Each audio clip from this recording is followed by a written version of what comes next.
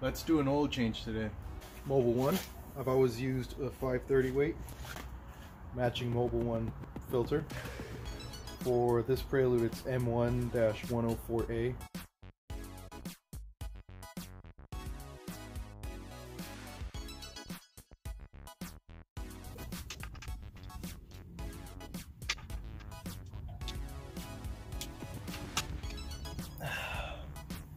It's a 17.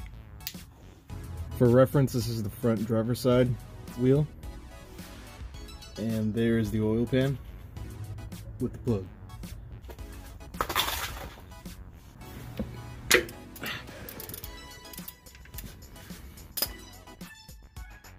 Break it loose. I've also received my brand new Performance straight from Japan oil drain plug. Precision engineered. Carbon fiber gasket. Way better than whatever this came from. So let's see what kind of gains I make with this.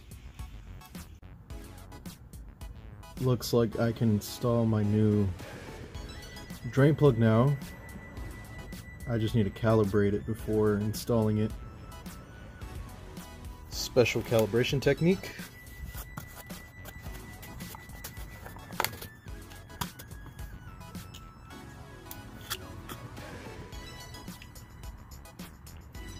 This ensures you get optimum performance out of your plug. Bit oil. This one, like I said, it has a smaller diameter head. 13 millimeter.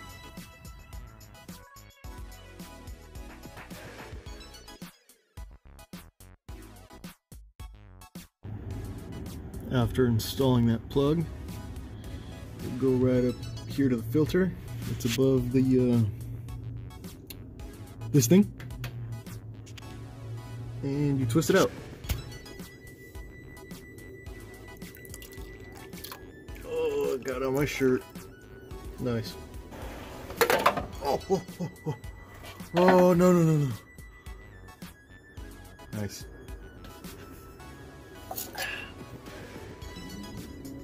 I forgot that I'd used the Wix last time. Here's the original. And here is a nice new clean one.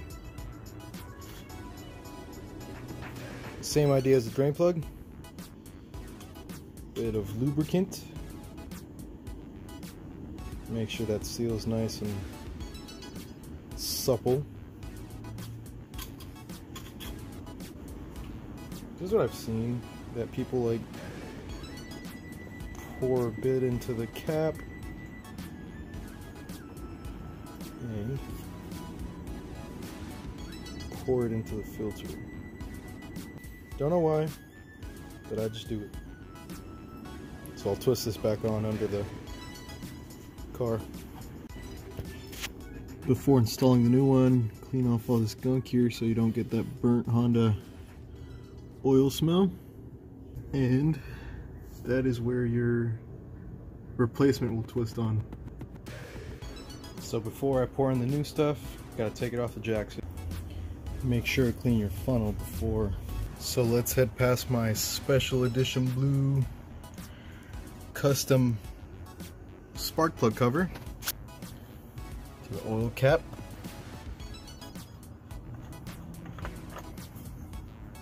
What I usually do is pour in four quarts and then keep adding as it needs it and then constantly checking the dipstick level there.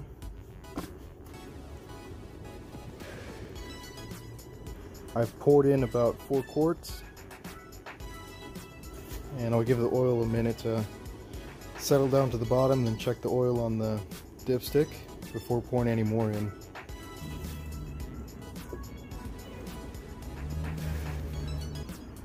It's not quite between the lines yet.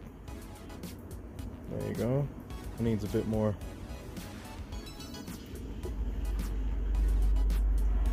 I poured in another half a quart and it's hard to see but Looks good to me now. Yeah, it's really hard to see on camera, but I can see it. Looks good.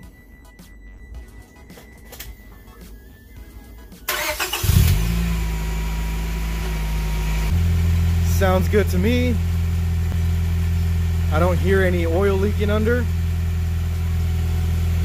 So I'll let it run for about two minutes, turn it off, check the oil again.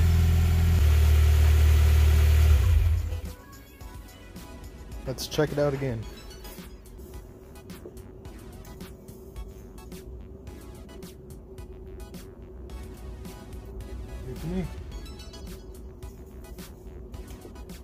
I keep track of my oil changes the old fashioned way. Pen and paper. It is 4, 10, 20. Don't forget to recycle your oil and filter and you're good to go.